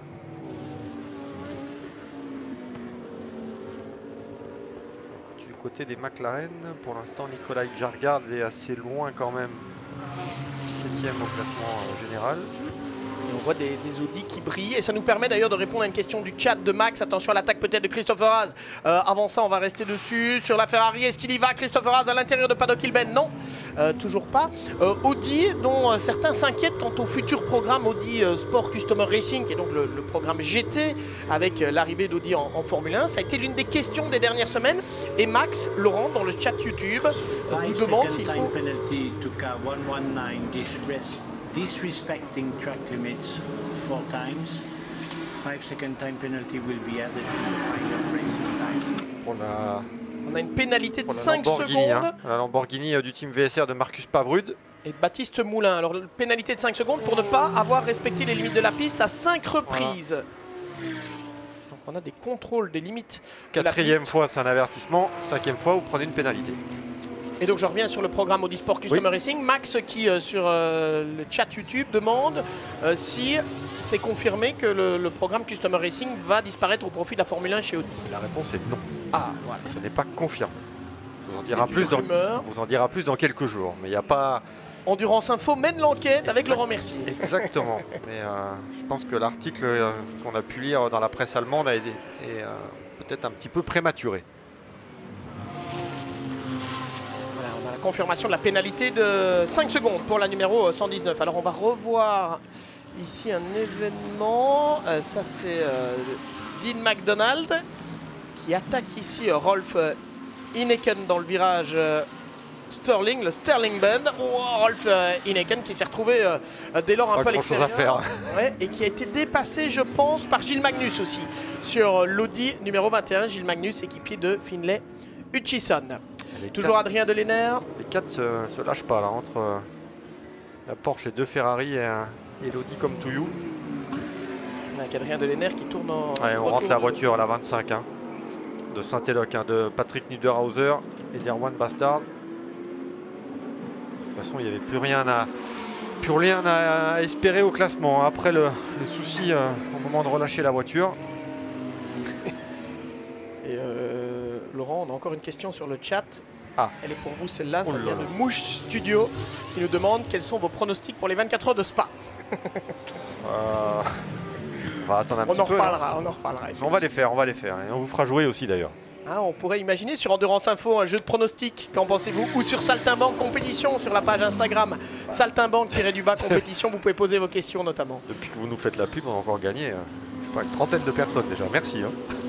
Merci. Après, le but, c'est de partager euh, notre passion et vous faire vivre l'envers euh, du décor. Regardez ici, on a un autre groupe bien, bien complet. Euh, celui-là, avec Paul Evrard, qui est poursuivi par César Gazo, par Thomas Neubauer. Donc César Gazo avec l'Audi numéro 10. Thomas Neubauer avec la BMW rouge, équipier de Jean-Baptiste Simenauer. Maxime Martin, qui a relayé Valentino Rossi sur le, la BMW numéro 46. Niklas Kruten avec la BMW numéro 30. Ce sont toutes des BMW du team WRT. Et puis on a Nicolas Jargard. Là, c'est la bagarre également, avec notamment la deuxième place dans la Gold Cup qui est en jeu. Paul Evrard qui est pour l'instant devant César Gazo.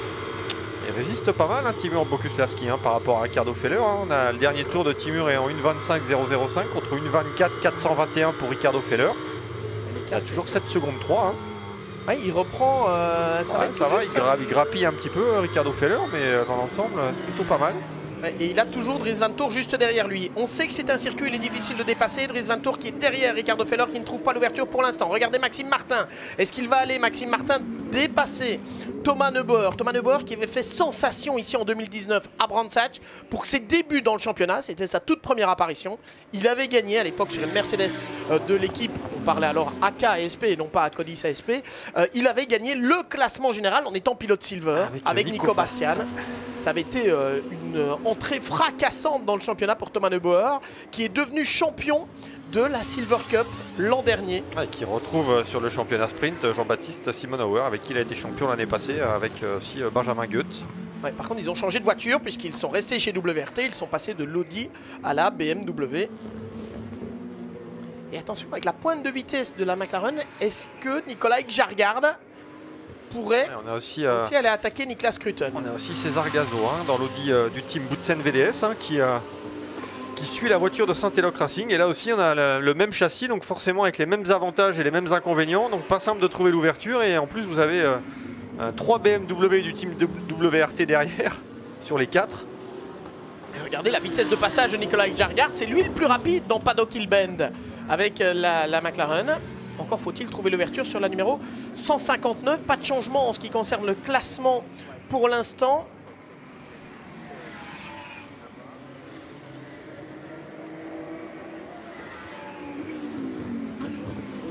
confirme que la numéro 25 a un souci suite au contact dans la voie des stands, raison pour laquelle euh, Patrick Niederoser est rentré. On imaginait bien, hein, ceci dit. Effectivement, attention à l'attaque peut-être euh, de Nicolas Jargard qui est juste derrière Niklas Kruten. La BMW face à la McLaren, est-ce qu'il peut euh, déboîter à l'arrière? Non, il reste derrière Nicolas Jargard. C'est difficile hein, à cet endroit-là d'aller dépasser, difficile en général sur ce circuit de Brandsatch d'ailleurs. Et puis en plus, euh, là, quand vous êtes dans un petit peloton comme ça, il faut essayer de trouver l'ouverture. Il ne faut pas aussi se faire surprendre par celui qui est derrière vous. Donc il faut, regarder aussi bien devant que derrière. Parce que là, on a les, ces voitures qui sont quand même euh, relativement proches. On a moins d'une seconde entre euh, chaque GT3 là. Reste, on a entamé les 10 dernières minutes de course. 6 hein. secondes l'écart entre Timur Bogulavski et Ricardo Feller qui continue de revenir avec l'Audi numéro 40. par tour à peu près hein, pour Ricardo Feller. Hein sur euh, Timur Bokuslavski. 5 dixièmes, c'est pas assez pour faire la jonction. Non, puis après, il faut trouver l'ouverture. et après, il faut trouver l'ouverture, effectivement. Et on sait que Timur Bogulavski n'est pas le plus facile à dépasser. surtout avec une Mercedes en plus. Là, on est avec la, numéro 9 d'Alberto Di Folco, le leader de la catégorie euh, Gold. Il y a Nicolas Barth qui est devant. Puis on a Alberto Di Folco. Et Lorenzo Patrese.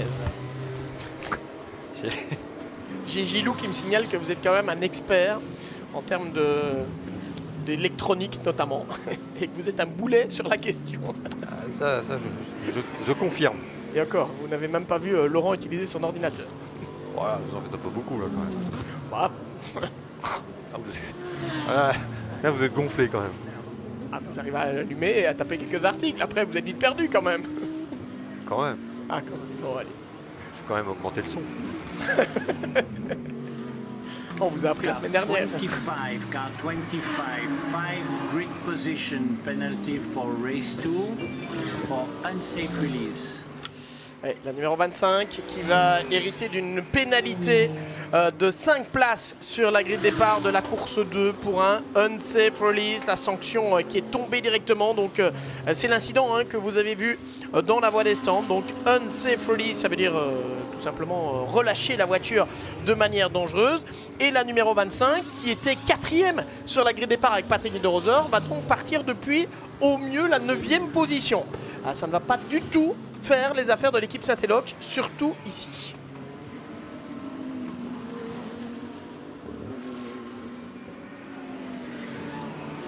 On a eu un problème lors du pit stop pour la Lamborghini numéro 18 de GSM AB1 GT3 avec euh, Nicolas Risitano et, Fernando Croce, pilote euh, italien Nicolas Risitano, ancien champion d'Europe de karting en junior à l'époque devant un certain James Calado, actuel pilote Ferrari. Donc c'est vous dire que euh, Nicolas Risitano était un très très bon pilote de karting à l'époque. Il, bah, revient après avoir fait une longue pause en tant que pilote, il revient en GT désormais. Mais par contre, pour l'équipe GSM euh, c'est AB... AB1, AB1 il y a eu un petit souci lors du pit stop parce qu'on a perdu plus de deux minutes. L'équipe aussi hein, qui, euh, qui roule uniquement en sprint, hein, l'équipe monégasque, hein, qui était déjà l'année passée avec, euh, avec un autre équipage. ça ne change pas dans le peloton. On a toujours la voiture d'Adrien Dolener qui devance les deux, les deux Ferrari du team Emile Frey Racing. Elodie de Christophe Raz.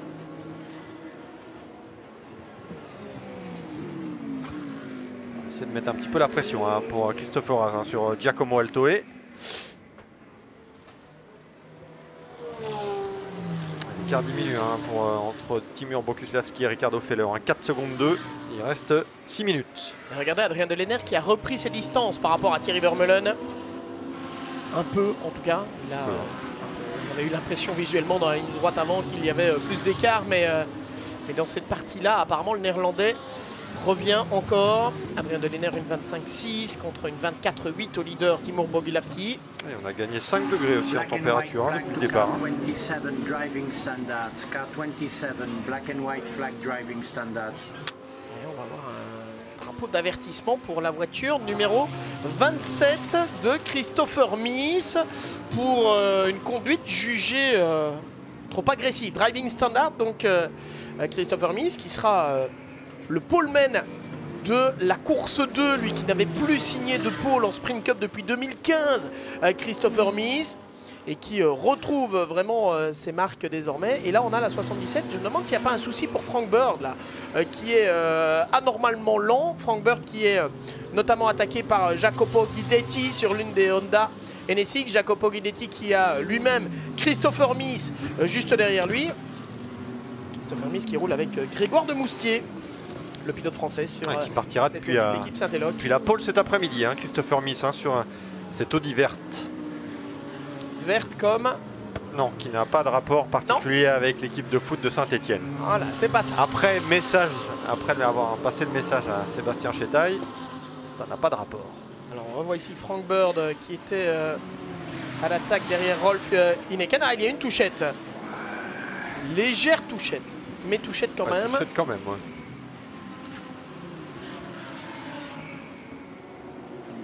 ouais. c'est pas fini encore.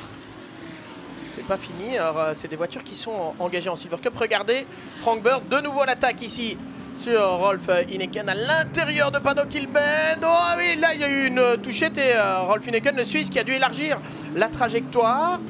Ouais, pas sûr que Frank Bird s'en sorte. Mmh, euh, indemne. Hein. Tout à fait indemne quand les commissaires vont analyser tout cela. Je rappelle qu'il y a des décisions qui sont prises par les commissaires sportifs en accord avec la direction de course. Et puis comme on est en, on est en fin de course en plus, hein, on peut euh, évidemment donner une pénalité après la course. On peut rajouter du temps Voilà Timur Boglavski, 3 secondes d'avance sur Ricardo Feller, il est un peu dans le trafic. Euh, Timur Boglavski, regardez comment Ricardo Feller revient. Et par contre... bon, on, doit rendre la, position hein, pour, euh, pour Frank Bird. La voiture numéro 77 qui doit rendre la position suite au contact donc dans le virage 1 avec la... Par contre la mauvaise nouvelle pour Frank Bird c'est qu'il doit rendre la position à Rolf Hineken en fait, il y a trois voitures qui sont passées. Donc, est-ce qu'il doit rendre une position ou est-ce qu'il doit rendre la position à Rolf Hineken Il y a trois voitures intercalées entre eux désormais. Alors, Ricardo Feller à l'image qui revient sur Timur Bogulaski. On va revoir ici l'incident. Ah, l'attaque de Christopher Haas, regardez euh, Qui est passé, ça c'est bien fait de la part de Christopher Haas, qui est passé devant Giacomo Altoe dans le dernier virage le virage Jim Clark. Il est euh, passé donc euh, Christopher Haas pour euh, passer au, sixième rang. Comme quoi, il y a quand même moyen de dépasser, même si c'est compliqué. Là, on a Ricardo Feller, c'est dans le trafic, qui passe la, Mercedes d'Ezequiel Perez Campagne, la voiture de Matt Panda Motorsport. On est loin hein, pour la, Mercedes d'Ezequiel Perez Campagne hein, en Silver Cup. On a toujours la tête hein, pour Alex Saka et Lorenzo Patrese, qui est pour le moment 11e en Silver Cup et Frank Bird qui pour le moment est deuxième, lui est à la 20e place. Donc on a pas mal de voitures quand même entre les deux premiers de la catégorie Silver Cup. Deux secondes 2 d'écart entre Timur Boglavski et Ricardo Feller. On va rentrer dans ce qui sera l'avant-dernier tour. Il reste deux tours. Et Timur Boglavski, une seconde 5 maintenant. qui va dans le, trafic, de la hein, Mercedes AMG qui ne va pas terminer. Euh, Ça va pas être simple non, plus parce qu'on a des voitures devant lui et euh, il va falloir essayer de, trouver l'ouverture sur les, sur les attardés, mais sans se faire rattraper de trop par Ricardo Feller. alors on va avoir des drapeaux bleus, hein, normalement euh, présentés euh, forcément, mais euh, ça n'empêche, il faut, il faut y aller. Il reste deux tours. Il reste, je pense, deux, un ou deux tours. Ça va jouer à quelques secondes. Laurent, le passage de la ligne. Je pense qu'il va encore rester un tour après celui-ci. Regardez Timur Boglavski qui a euh, devant lui Marcus Paverud sur la Lamborghini. On a Nicolas Marinangeli sur la Ferrari et Rolf Ineken sur l'autre Lamborghini. Flash suffisamment tôt, hein, Timur Boglavski, pour essayer de, faire comprendre au pilote qui est devant hein, qu'il faut euh, essayer de s'écarter. Regardez les drapeaux bleus qui signifient donc que la voiture doit laisser passer parce qu'elle se fait prendre un tour et doit laisser passer la voiture du leader qui est derrière. Les drapeaux bleus euh, présentés partout. Ah, on peut pas dire qu'on ne les a pas vus, hein, certainement, euh, du côté euh, de Marcus Paverud. Ah, ça doit être un peu de pression là pour Timur Bogulavski, Ricardo Feller, le pilote officiel Audi, avec la voiture de l'équipe Trésor Orange One. En fait, c'est l'équipe Atemto hein, que l'on retrouve derrière, mais l'appellation Trésor Orange One le sponsor Trésor qui était associé l'an dernier à, l'équipe Car Collection et qui est passé avec Attempto. Il est derrière, il est derrière Ricardo Feller, il reste 5 secondes, 4, 3, 2, 1. Est-ce que le drapeau lamier s'abaisse euh, Oui, euh, il s'abaisse. Euh, donc victoire de Raffaele Marcello et Timur Bogulavski. Sur le fil, 6 hein. dixièmes. Hein. Et, et Thierry Vermeulen qui est parti à la faute Thierry Vermeulen qui est parti à la faute dans la partie rapide comme il l'avait fait hier. Et ça va permettre à Christopher Haas de prendre la cinquième position. Alors on a deuxième place Ricardo Feller. Et que se passe-t-il pour Adrien Deléner Adrien Deléner qui tombe en panne La Porsche qui était quatrième et qui tombe en panne dans le dernier tour et qui va retomber à la huitième place du classement. Ne me dites pas que c'est une panne d'essence, Laurent. Bah, en fin de course comme ça, c'est la première chose à laquelle on pense. Bah, hein. Pourtant, en plus, ça arrête juste après l'arrivée là. Elle a ralenti d'un seul coup. Adrien Deléner et Christian Engelhardt qui étaient excellents quatrième. Attention, c'est pas fini ici pour euh, avec notamment Christopher Mies, le poleman de la course 2 qui est derrière Frank Bird. On va voir de euh, la bagarre jusqu'au bout, même si euh, c'est hors des points et donc finalement ça n'a pas énormément d'intérêt. Je pense que Christopher Mies ne va pas prendre tous les risques. Mais quelle fin de course euh, surprenante avec tout d'abord le retour de Ricardo Feller. Et puis euh, sur Timur Boglavski, regardez, il y va, il y va. Euh, il va passer devant Christopher Mies, qui passe pour l'honneur. Voilà, devant Frank Bird pour prendre la 21e position. C'est pas le résultat espéré évidemment, il partira en pôle euh, de la course 2, mais ils étaient euh, moins bien placés sur la grille de départ de la course 1. Et quelle fin de course Alors on va retenir que l'on a trois marques différentes sur le podium. Timur Bogulavski et Rafael Marcello s'imposent avec la Mercedes AMG de l'équipe Acodi CSP devant l'Audi de Ricardo Feller et Mattia Drudi pour l'équipe Trésor Orange One et devant la BMW. Premier podium en BMW donc pour le team WRT et pour Dries Ventor et Charles Weirs, les triples champions en titre. On parlait de la régularité, Laurent Mercier. Les trois points pris ici pourraient évidemment être importants, euh, enfin les points de la troisième place plutôt, euh, pourraient évidemment être importants en fin d'année. Et puis Christopher Haas, attention là aussi pour un équipage.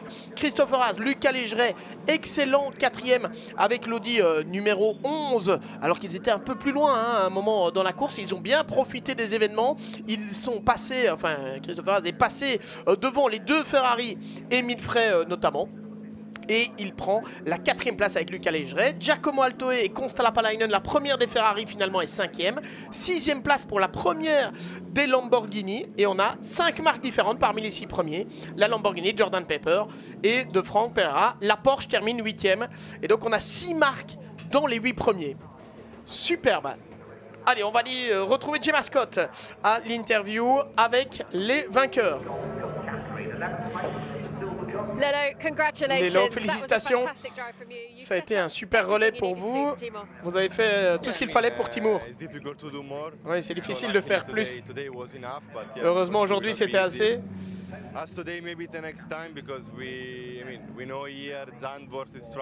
On sait que ici Zandvoort ce sont des pistes où on est fort, donc j'ai pu euh, creuser euh, l'écart ici. Il y a d'autres pistes où je ne pourrais peut-être pas le faire, donc j'espère que, que Timur pourra.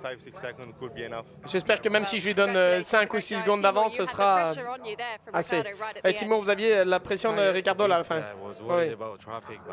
C'était difficile avec le, le trafic, c'est difficile de dépasser. On perd vite 2 ou 3 secondes. Merci à Lelo qui a rendu ma vie plus facile comme toujours. Il a creusé un bel écart pour moi. Pour euh, être honnête, je, souffre depuis Monza et je ne sais pas pourquoi. J'espère revenir plus fort euh, au Paul Ricard.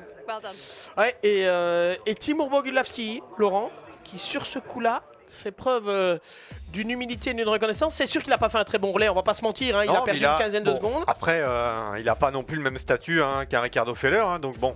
Non mais il a l'honnêteté de dire je est pas, je suis pas euh, je suis pas bien I'm struggling disait-il en anglais donc je, dois me battre je suis dans une situation qui n'est pas idéale et on a aussi on a une belle victoire en Gold Cup pour la voiture de Boutsen de Boutsen VDS avec Alberto Di Folco et Aurélien Panis. Belle course d'Aurélien Panis et Alberto Di Folco. Voilà le classement d'ailleurs. Raphaël Marcello, Timur Bogudlavski, vainqueur devant Mattia Drudi, Ricardo Feller, Charles Hertz, Dries Vanto, Lucas Légeret, Christopher Haas. On a Constala Palainen, Giacomo Alto et 5 Et on a donc 6 marques parmi les 8 premiers, hein, ce qui est vraiment remarquable, à part McLaren et Honda, euh, qui ne sont pas dans les 8 premiers. En Gold Cup, victoire d'Aurélien Panis, Alberto Di Folco, vous l'avez dit, devant Paul Evrard, Simon Gachet, qui a été euh, l'auteur d'un premier tour de folie. Je voudrais revoir sa caméra embarquée, euh, puisqu'il a gagné 7 places. Et puis on a César Gazo, c'est son premier podium en GT à César Gazo, qui est l'équipier euh, d'Adam et Teki sur la numéro 10, podium en Gold Cup. Et puis en Silver Cup, Lorenzo Patrese et Alexaka s'imposent en Silver Cup avec la numéro 99. Devant, et eh bien devant, devant la Honda Nova Race numéro 28 de Leonardo Mancini et Jacopo Guidetti, deuxième en Silver Cup. C'est une belle surprise. On écoute euh, Gemma de nouveau. Avec les vainqueurs Silver Cup d'ailleurs. Félicitations, ça a été une course euh, excitante pour vous, notamment dans les fins de course. Oui, c'était bien. On avait vraiment une belle avance sur le deuxième en Silver Cup. Donc on devait euh, gérer good. Mais euh, c'était bien. Le pit stop s'est bien passé. Je suis très content. Je voudrais remercier l'équipe et Alex. Je pense qu'on a fait un bon boulot. Ouais, ça ne pouvait pas être mieux. Non, non, c'est bien. Ouais, je n'ai pas vraiment de, de mots. Je pense qu'on a fait du bon boulot. On savait qu'on était plutôt bien depuis euh, les deux jours d'essai, mais je pense qu'en tant qu'équipe, on a vraiment été capable de le faire, donc c'est le bien. Euh, Lorenzo Patrese, hein, qui est le fils de Ricardo euh, Patrese, le vice-champion du monde de Formule 1 1992. Alors pour la petite histoire, Laurent, on ne peut pas le répéter, mais tant qu'on est entre nous, sachez-le. Lorenzo Patrese qui est sorti hier en essai qualificatif, vous vous souvenez, il avait été à l'origine d'un drapeau rouge dans la deuxième séance qualificative. Il paraît qu'il a pris un savon de Papa Ricardo hier soir, de manière assez fantastique. Privé de dessert. ah oui, apparemment, Papa Ricardo n'était pas content du tout. En fait, Lorenzo qui a commis deux erreurs, une qu'on a vue à la télé, une qu'on n'avait pas vue juste avant. Et donc, Papa Ricardo lui a dit que ça ne devait pas arriver. Il a 17 ans, hein, Lorenzo Patrese. C'est sa deuxième année en GT alors qu'il avait juste fait euh, de la Formule 4 auparavant. Sincèrement, je trouve que ce qu'il réalise, vu le peu d'expérience qu'il a, est plus que convaincant. Je ne sais pas quel est votre avis, Laurent, mais je suis assez fan du, jeune euh, ah Lorenzo oui, On l'avait déjà vu l'année dernière, déjà, qui avait montré de belles choses dès la première année. Donc c'est sûr qu'il y a encore une belle une belle progression euh, pour Lorenzo Patrese. Il a 17 ans et il gagne la catégorie Silver Cup ici. On revoit les meilleurs moments de cette course. Raphaël et Marcello est en pole position euh, devant Albert Costa. Premier passage avec 29 voitures de la catégorie GD3 euh, dans le virage. Paddock, il bend avec quelques concurrents qui prennent, pardon, de très bons départs. Et c'est le cas, entre autres, de Christian Engelhardt sur la Porsche qui va passer de la 8e à la 5e place. En tête, Raffaele Marcello, Albert Costa, Mattia Drudi qui est en 3e position Constant Lapalainen euh, qui est Euh, Valentino Rossi qui est euh, dans le, peloton, il s'est loupé lors des essais qualificatifs, gêné par le drapeau rouge au moment où il signait son chrono. A l'inverse, la BMW numéro 32 des triples champions, Dries Vantor et Charles Wert, est en cinquième position, euh, sixième position pardon, au début de course. Pit stop euh, prématuré, ou en tout cas le plus tôt possible pour Charles Hertz et pour Dries Tour. Pit stop qui se passe très mal ici avec le unsafe release de l'équipe Saint-Eloc euh, qui relâche Patrick Niederhauser et qui vient percuter la Honda numéro 68 d'Erwin Zanotti qui rentrait dans la voie des stands. Des bagarres dans le cœur du peloton, notamment ici Frank Bird et Rolf Ineken qui se sont touchés, et même franchement touchés là du côté de Paddock Bend. Et puis on revoit ici, regardez Thierry Vermeulen avec Christopher Haas. Qu'est-ce qui s'est passé pour Thierry Vermeulen Qui a euh, qui est passé devant lui ici. Et on a vu, euh, il a été poussé en fait, Thierry Vermeulen. On n'avait pas vu ça en direct. Euh, Jordan Pepper qui est passé également à l'intérieur. Donc Thierry Vermeulen qui a perdu 3 places en un virage. Voilà ceux qui terminent deuxième, Mattia Drudi et Ricardo Feller. Ils sont revenus dans le sillage euh, du leader Timur Bogudlavski, mais euh, l'écart creusé par Raffaele Marcello en début de course était suffisant. Victoire d'Acodis, ASP, encore une. Et on retrouve les, les vainqueurs en gold. Félicitations. C'était exactement ce que vous vouliez, évidemment, euh, pour ce week-end. Ouais, je suis très content avec euh, cette euh, course en, Sprint Cup. C'est une belle manière de démarrer la saison avec cette première victoire. Merci à toute l'équipe. Ils ont euh, travaillé beaucoup durant l'hiver. On a une bonne voiture, donc c'était très bien. C'était assez difficile à la fin. il a fait un bon boulot durant le premier lait. Et puis moi, j'ai juste essayé de garder la voiture en, en pole position les, teams ont fait un super pit stop, on a même gagné une place et on termine dans le, top 10 et on gagne notre catégorie, c'est le meilleur que l'on peut faire. Donc je suis très heureux et je voudrais remercier euh, euh, toute l'équipe pour ça, euh, nous dit Alberto Di Folco. Il y aura encore du, boulot évidemment avec une course 2. on vous retrouvera d'ailleurs en direct à 15h25 heure anglaise, donc 16h25 en Europe pour un résumé de cette première course. Et puis le départ de la course 2 lui-même sera donné à 16h10 ici, donc 17h10 chez vous. belle prestation d'ensemble pour Boutsen VDS avec aussi une belle perf hein, de Adam Eteki et de César Gazo aussi en Gold Cup. ils font premier et troisième. Exactement, donc euh, ça avait été compliqué à Monza, on se souvient avec la voiture d'Aurélien Panis qui n'avait pas pu prendre part à la course sur, suite à un, problème mécanique avant le départ. Et là, double podium en Gold Cup, euh, une belle entame de saison sprint pour l'équipe belge.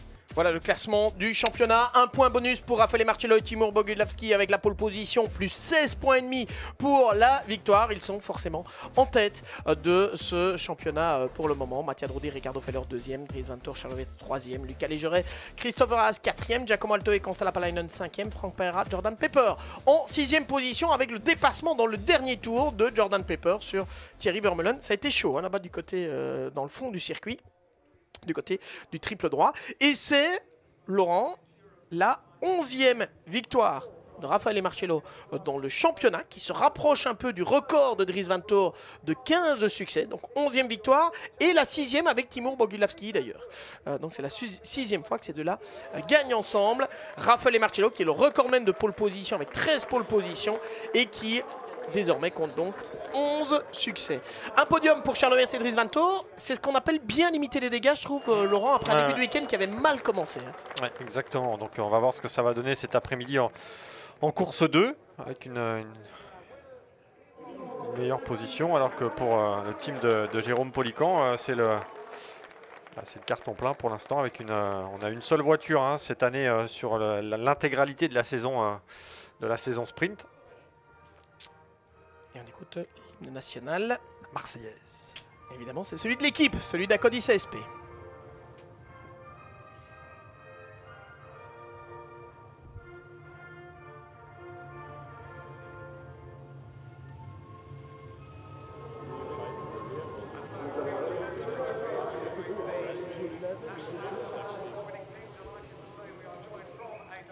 Victoire. On savait, hein, les Mercedes qui ont toujours été euh, extrêmement rapides ici.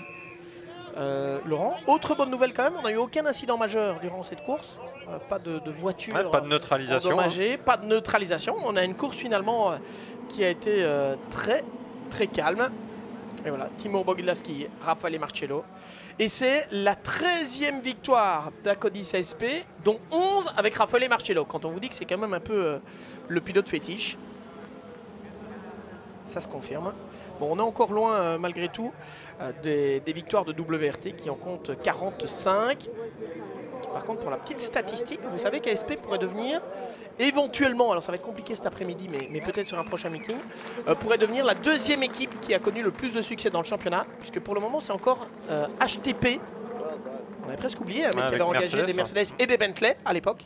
HTP euh, qui est deuxième derrière WRT dans le classement des équipes. Voilà pour les petites statistiques. Vous savez qu'on aime bien ça quelque part parce qu'un championnat se vit aussi grâce à son histoire. On entame la 11e saison de cette Sprint Cup qui euh, était née sous l'appellation FIA GT en 2013, qui est devenue euh, ensuite la Blancpain Sprint Cup et désormais la Fanatec GT World Challenge Europe Power by AWS Sprint Cup, pour être tout à fait compris, mais, complet, pardon, mais qui est donc la partie sprint avec 5 épreuves qui comprennent toutes deux courses de 60 minutes comme celle que nous venons euh, de vivre ensemble, le champagne. Apparemment, on n'a pas de problème de combinaison du côté de WRT. Je pense qu'ils ont des combinaisons de rechange. Hein, parce que euh, pour se mettre du champagne comme ils viennent de le faire maintenant, je ne voudrais pas rouler avec la combinaison qui sent le champagne euh, comme cela lors de la course 2. Donc j'imagine qu'on a une combinaison de rechange du côté des pilotes WRT entre autres. Et on va enchaîner avec les, podiums dans la foulée. Euh, Gold Cup et effectivement Boutsen VDS qui revient dans le championnat sprint. Euh, qui était passé à l'Audi l'an dernier, ils ont longtemps roulé avec des BMW M6 GT3, euh, qui est passé à, l'Audi l'an dernier et, qui est sur un programme complet cette année. Seule l'année passée, on a le renfort donc, du, de, Marc, de Marc van der Straten en tant que, partenaire titre de l'équipe et on, double, on double la mise avec, avec deux voitures cette année sur un double programme qui donc euh, mixe sprint et endurance. C'est une belle entame de, saison sprint. Alors si vous êtes toujours avec nous, et on espère que c'est le cas, euh, merci de nous avoir suivis. Alors on a une question de Charles Cablan, voilà, qui a quand même de l'humour, qui nous disait Est-ce que Frank Bird est un oiseau ou pas du tout? Ça aurait pu. On ne peut pas dire qu'il volait en fin de course, hein. il était euh, même plutôt en train de de s'accrocher et il était durant sa position de s'accrocher avec Rolf Ineken. Salut à vous. Merci d'avoir de l'humour et de partager euh, cet humour sur la chaîne YouTube GT. Merci à Théo qui nous a fait euh, remonter euh, les questions également parce qu'en commentant c'est parfois difficile de suivre toutes vos conversations mais, mais on sait que vous êtes là, on sait que vous faites vivre. C'est une communauté finalement qui est là derrière ce championnat Fanatec GT World Challenge Europe. N'hésitez pas à partager, n'hésitez pas à en parler autour de vous, parlez-en à vos amis, venez nous retrouver pour passer quelques dimanches après-midi en notre compagnie. Euh, ce sera le cas euh, notamment encore aujourd'hui avec, euh, en ce qui vous concerne, si vous êtes en, Belgique, en France, en Suisse ou que vous soyez en Europe centrale, ce sera 16h25 le rendez-vous. On vous présentera les enjeux du championnat, un résumé de la première course et puis on ira à partir de, je pense ce sera 16h50 environ, on ira sur la grille de départ de la course 2 pour vous faire vivre cette deuxième course sprint ici le lancement de la Sprint Cup du Fanatec GT World Challenge Europe Power by AWS ici à Brandsatch. Euh, et, on est vraiment très heureux de le vivre avec vous. On a même commandé le soleil, le remercier, on n'y croyait plus. Hier, on a eu 19 degrés, en tout cas c'est ce qui est annoncé, mais on en a eu 10 le matin et 9 l'après-midi. Ouais, là on est à ici, on 13 degrés hein, quand même ici, là. Ah, en température dans l'air et à 28 en température de piste. Je me demande encore où étaient les 19 qui nous ont annoncé hier quand même. à part effectivement en les coupant par deux. Euh, merci en tout cas vraiment d'avoir été avec nous. Merci encore Théo pour le petit soutien. Et puis vous n'hésitez pas, vous continuez évidemment la discussion. Vous pouvez nous suivre également si vous avez des questions via le compte Instagram saltimbanque du bas compétition pour ou si vous avez des questions, si vous avez des dépasser le million. On essaye de, de, vous y répondre aussi. merci, Laurent Mercier répond à tout. C'est lui qui gère. Moi, j'ai pas le temps. Chacun son métier. Non, je plaisante, évidemment. Merci d'avoir été avec nous. On vous donne rendez-vous à 16h25 pour le lancement, la préparation euh, de la course de départ donnée à 17h10 en Europe centrale, 16h10 ici en Angleterre. Merci d'avoir été là. À tout à l'heure.